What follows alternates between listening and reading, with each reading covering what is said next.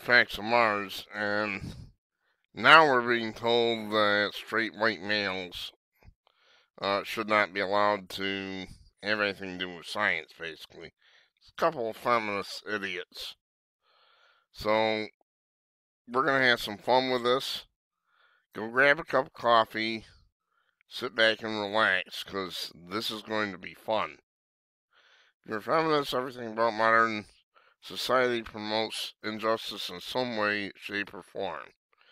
The latest outrage de jour is from a pair of feminist scientists claiming those who incite work from straight white men are promoting a system of oppression. Oh, brother. Well, according to the Washington Compost, geographers Carrie Mott and Daniel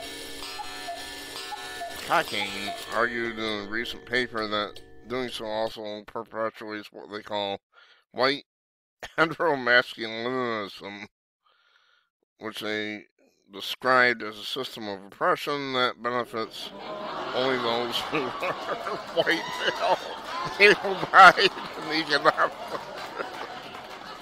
I'm sorry, I got, I'm to lose it. Heterosexual, cisgendered, I don't even know what that is. Oh, in parentheses, cisgender describes people whose gender identity matches their birth sex. oh my god. oh, this is precious.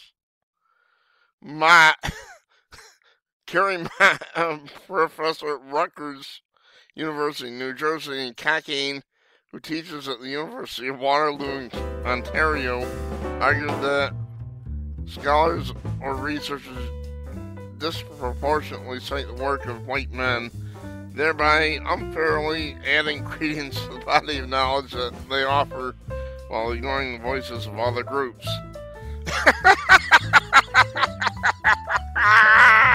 this isn't about isn't about your skin colors, about the quality of the research. Other groups like women, black, and black male academics. I can find any number of research papers by either group.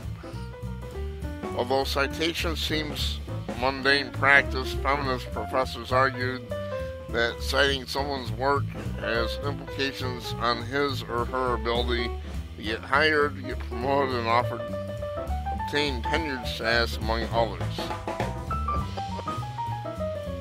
this important research has drawn direct attention to the continued underrepresentation and marginalization of women, people of color, to cite narrowly, to only cite white men or cite established scholars does disservice not only the researchers and writers, or others by white hetero masculinism they wrote in paper recently in the journal Gender, Place, and Culture.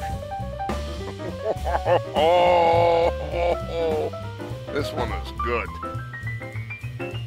Campus Reform was first report on study published by Martin asked the researchers were possible straight white men were often cited because they represent a substantial part of academia.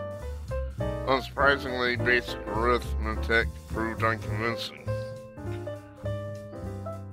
Campus reform inquired as to whether the citational disparity may simply reflect the relative preponderance of white men in the field, but Cockayne rebuffed that suggestion, saying the point we are trying to make is that uh, the important research done traditionally by by traditionally marginalized voices is often ignored